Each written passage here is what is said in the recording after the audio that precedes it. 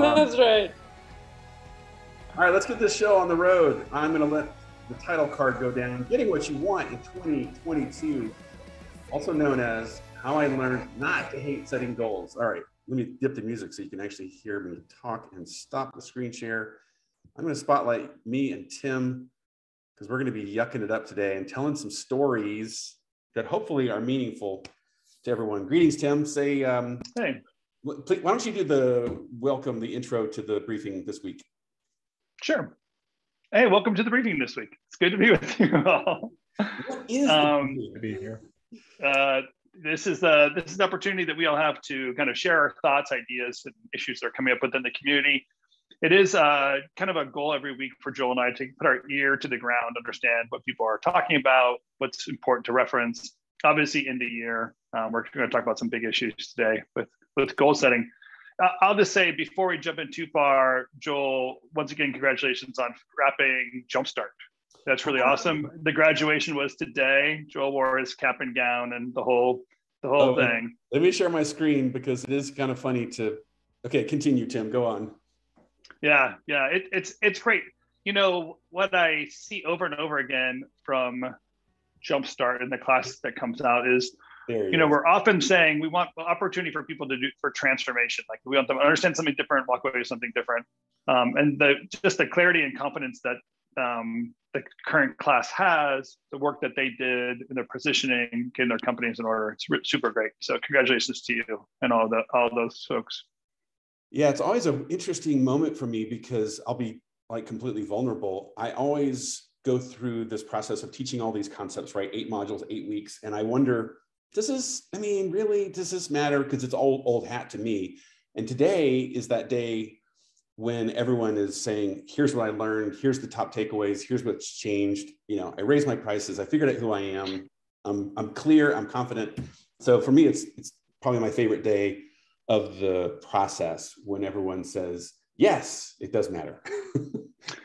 and that this whole group is now going to be part of confab which i know that we're doing kind of uh, we're just going to introduce the production method. We just wrapped the production masterclass, but the production method into Confab and, and making that whole thing happen. So, um, a great, great evolution for all those companies. Well, what we do is we take anybody who goes through Jumpstart and we say, hey, come into Confab for a month, which is like jump into this mastermind. There's a group of owners that are just meeting weekly to process things. And here, I'll show you, I'll give you everyone a peek. This is what we started processing yesterday. So it's this you know, I call it a worksheet, but really it's a method of of setting goals. But it's this bigger idea that Tim, you and I always talk about of the best way to deal with the future is to create it. So we're going through this process, this worksheet, and you know, th- this is part of this method that I wanted to share today um, because I think everyone has a certain amount of reluctance around goal setting. I don't know. Is there is there something in the creative mind that resists setting goals? right. I'm going to say, I know it's so interesting, isn't it? Like, I, I feel very lucky in college. I was part of a, a, leadership group that truly was a strategy group for the college, and um, I was the student representative for it. And so I remember really, a, at a young age, understanding goals and how those goals, which is really just a vision or a purpose to what you want to do, and, and within a certain time frame, and then breaking that into objectives and then strategies and actions, right? So that you could actually accomplish that goal.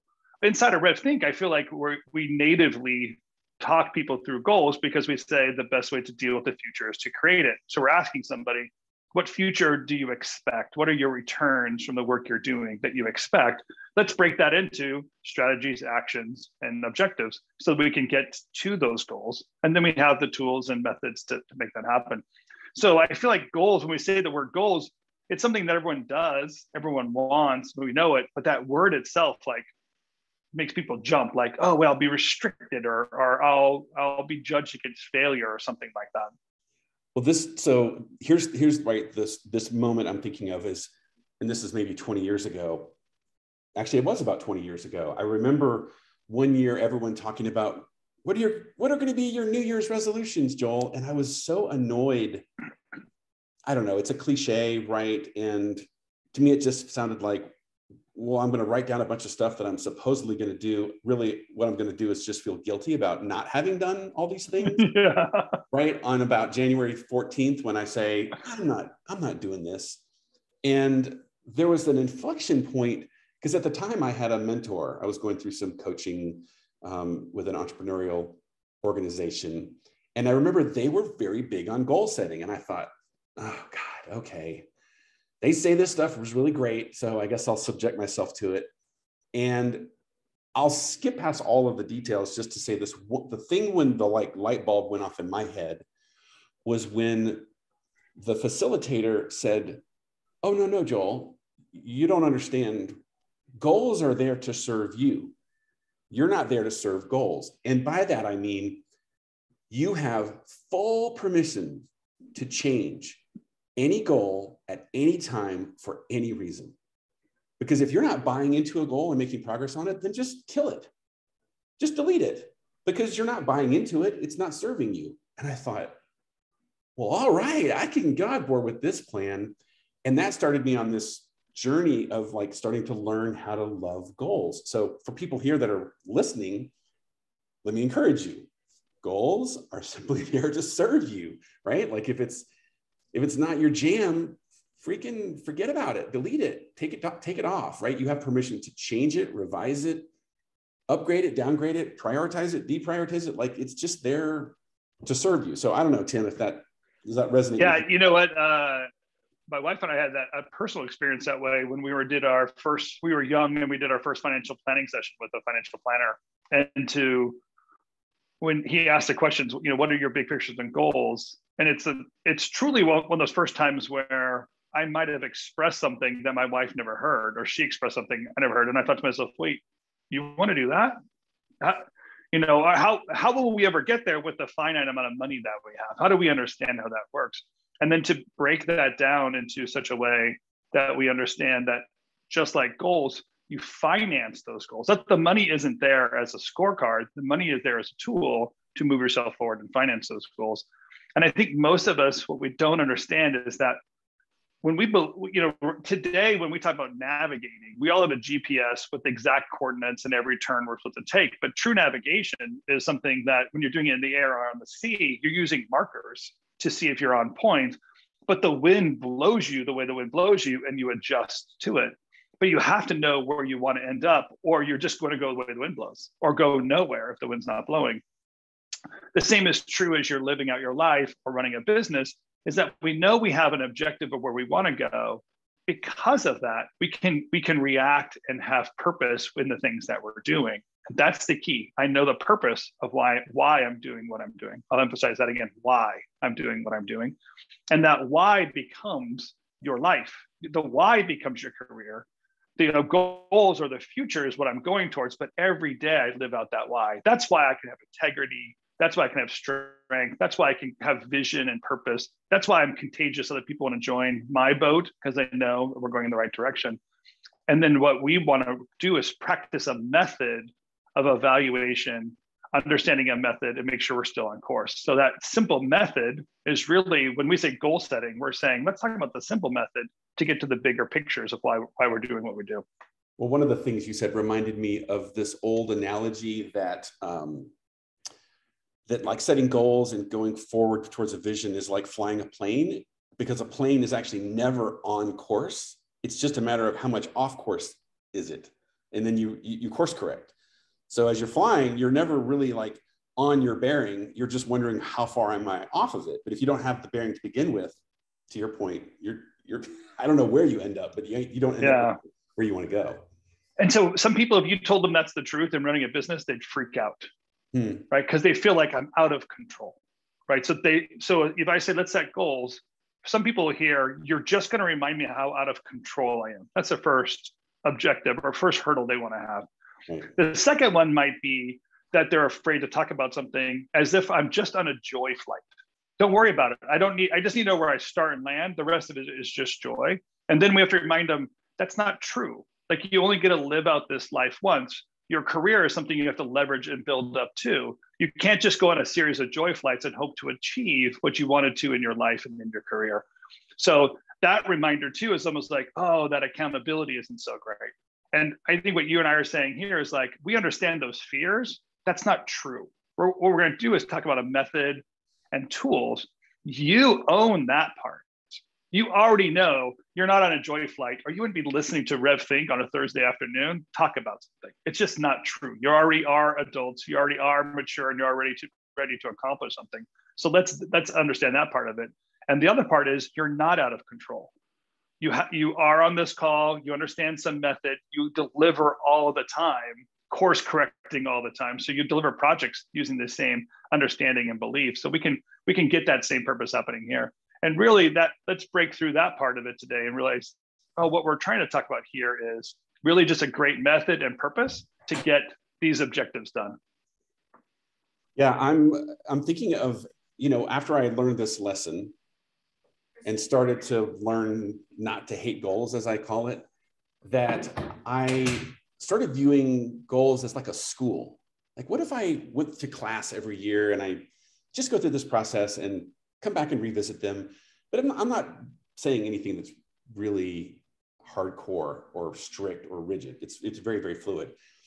But to, to your point, Tim, something you just mentioned reminded me most of the people in confab yesterday when we went through this first step of this four step process i'm about to write it write it down and show everybody the interesting takeaway that everyone came away with was oh if i could go back to january 1st of this year and tell myself what i know now you know what the number one like everybody said it the number one thing that everybody would say to themselves back in january 1st is don't be afraid meaning set those goals and go for it. Like it's okay.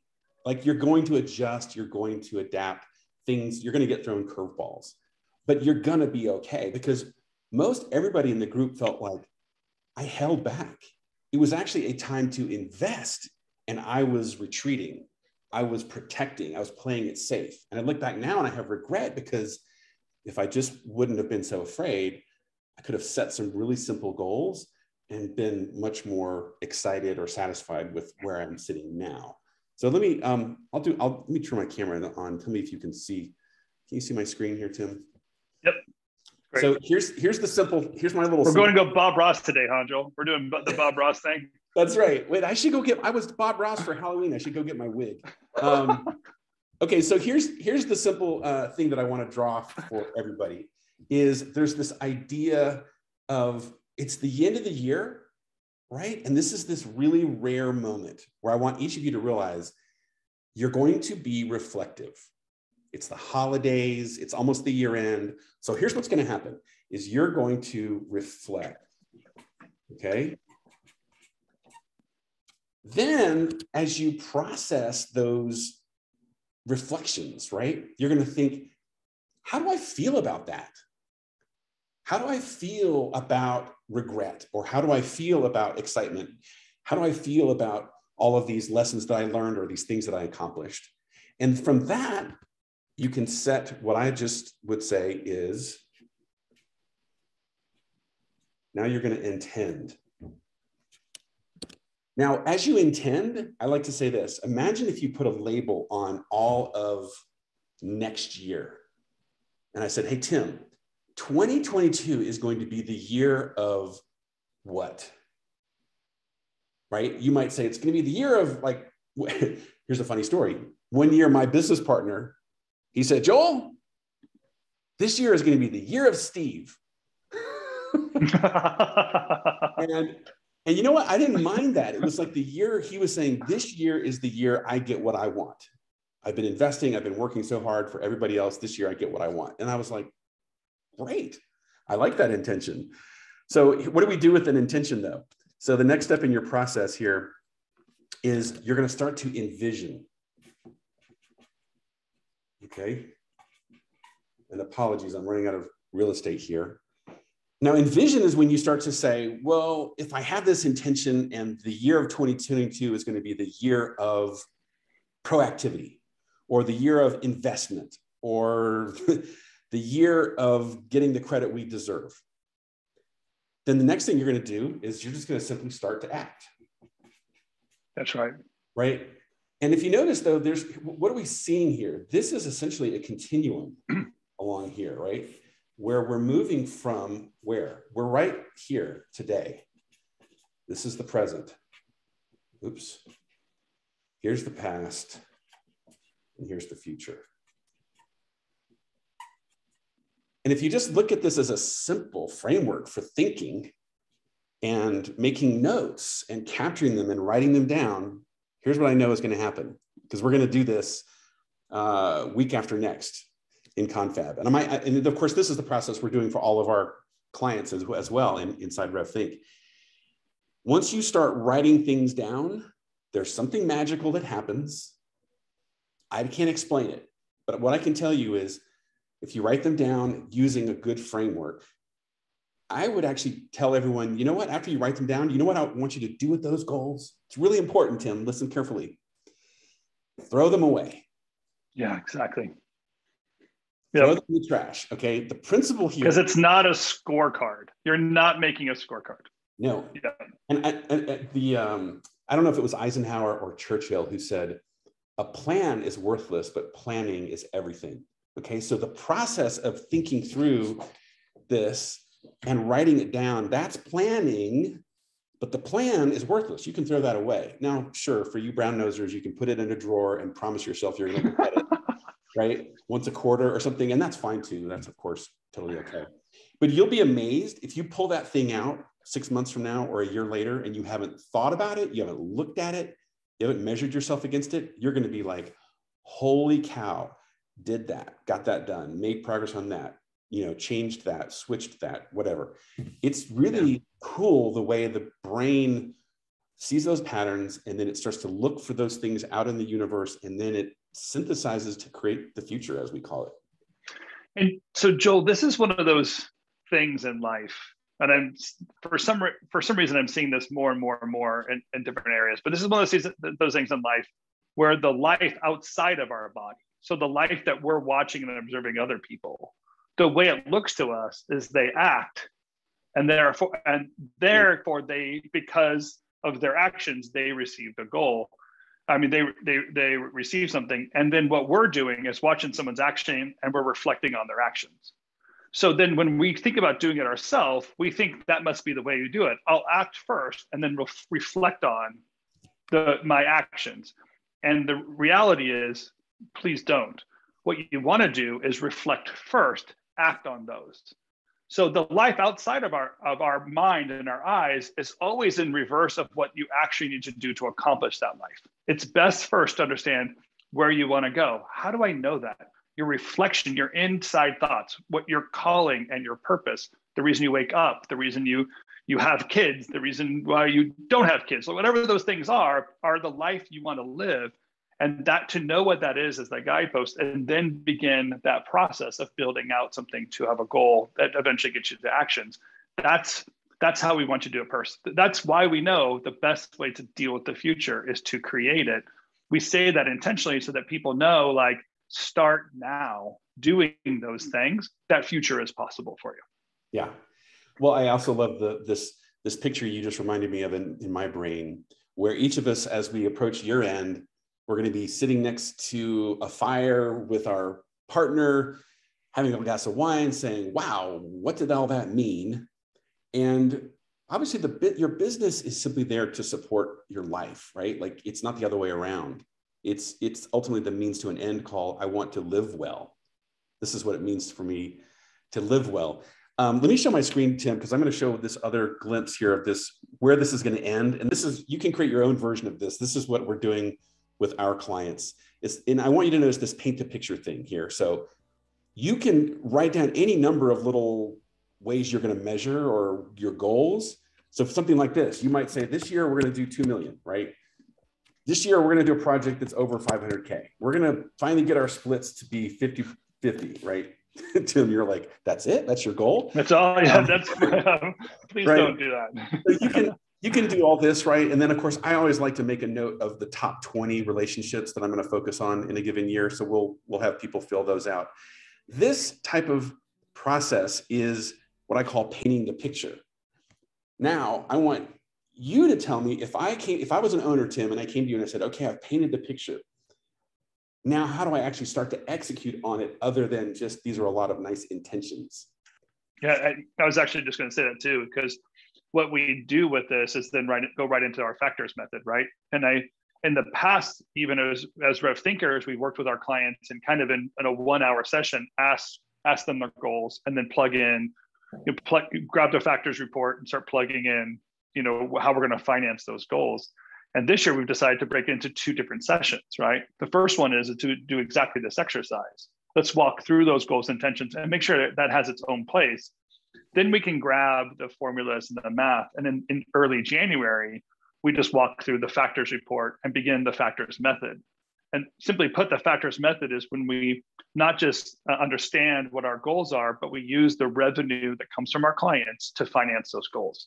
So there are things that we have to dedicate to project costs, direct costs. There are things we have to dedicate to indirect costs, which helps us run the business. But there has to be a portion of it left over that we finance our future. And by financing our future and making that a priority and not giving it all away to the client or uh, have no lack have a lack of purpose and therefore spending it all on, on uh, internal costs that were unnecessary, we actually focus and then we can achieve achieve those goals. So that's that's where I that's the next place we go as RevThink is let's go right into that factors report, begin the factors method. That factors report then creates what you pointed to earlier splits of what how we've split out that revenue on a project by project basis. And now for on a project by project basis, on a week by week basis, month by month, quarter by quarter, we live out the financial picture of that and therefore finance those goals and, and green light those projects and bring on that, that team and start that sales process and all those other ingredients that we have to run within our business can begin going. It's a, the perfect jumpstart for that. Well, I'm glad you um, I'm glad you beat me to the punch because I was about to ask, hey, for anyone here that doesn't understand what you mean by the factors method, what the heck is that? Um, you might want to reiterate that because what I what I heard you saying is, or I, well, I'll say this, what I've heard you say in the past that I really liked a lot was you said, if you're running, say, a million dollar a year business, what is it? You have one, a million one dollar decisions to make throughout the year. And the power of having clarity around, well, how are we going to make those decisions and empower others to make those decisions so that we create the future we want?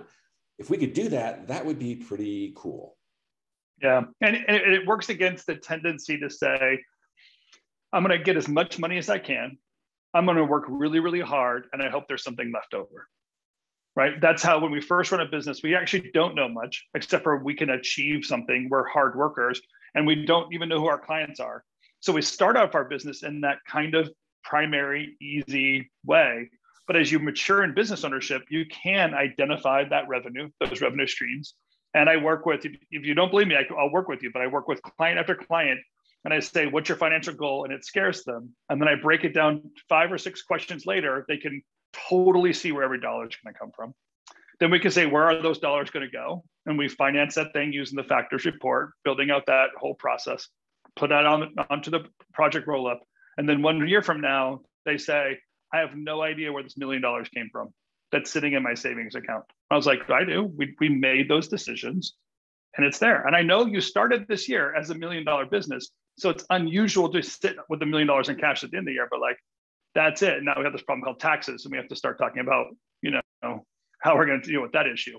but that's the over and over and over again. We've seen people double their revenue, increase their profits, loosen up their loosen up the the decision making, giving it to the production team, and then financing their life goals, their, their, their business goals, and their career goals. Start financing that. We'll never get there if we don't. Well, you're, um, this is honestly like a bit of PTSD for me, right? Yeah, you hate this. You really hate this, this conversation sometimes. Well, it's like it's a love hate relationship with this topic because there's so much regret I have around, oh my God, if I would have just discovered this before. Because when you went through the whole um, just make as much money as you can and that whole paradigm i was like were you recording me when i used to say that back in my former life because that's that's so true and i have so much uh, frustration and regret about that now the the love side of it is it's so freaking cool when people start to embrace the method and apply it and i get to be a, an enabler or facilitator um, to to I just want my company to be not crazy, you know, driving me crazy all the time. I want to have more freedom. Uh, I want to produce better work. And then these other strategic byproducts show up like profits, right? Like savings, like how are we going to, you know, what should we do with all this money other than pay a lot of taxes? That, those are really good, good problems. So that, that part of it, I love. yeah, I don't regret it either because if you were successful in business, you wouldn't be working at RevThink either. So everybody wins on this one. right. Yeah, I see. Uh, see Eric and Cherish, some of my former collaborators, uh, laughing a little more heartily than I wish yeah. they were. exactly. oh, that's funny. Well, um, Tim, I was going to say, in, in, terms of where we go with this, um, do we have a, like a, a final encouragement or, or a direction that we can point people? Obviously, in the community, we'll happily answer questions and we should um, feel free to start a thread or something if, if you have a question but where else yeah. people i know that i mean if if you're one of our clients we're going to be sending you an email for some time slots we're going to go through the goal goal method as a group um, so small groups so if you're one of our clients you will be and you're signed up for that you'll get that Joel, if you're part of the confabbers are also going through this as a, as a mastermind group, a little bit different process for, for a mastermind, but because they're doing it more themselves than we are. Um, but then also, I'm, I think Joel, we would, we could probably give out the worksheets or kind of figure out a way of, of maybe if you want to kind of, I don't know what your thoughts are, but put something out there where the whole community can join in and, and you can just teach them what the worksheets are. Yeah, no, I would love that. So if there's a lot of interest in the community to do like, let's do a group um, and we'll all go through this process together. Of course, I would, I think that would be, that'd be a blast. So if, if that excites you, DM me, drop me or start a thread on the community and we'll figure it out. Yeah, we can make something happen. There's only two working weeks left in this year, by the way. I mean, we should say, tell people right now the, the last week of December, last two weeks of December, we were not going to do the weekly briefing. So the 20, I guess it's the 23rd and the 30th. So there's only two more weekly briefings left in this year. There's only really two work weeks left here. So if that's something we want to do, we should probably cram that in in the next 10 days. And it would take, what's it going to take a half hour to kind of show people the worksheet, each yeah, of the goal items. Um, we could probably go through the whole thing stem to stern in about an hour. So it could be like an hour workshop or something if people are interested. So. Oh, that's a good idea. Yeah, just make a workshop out there for it. Yep.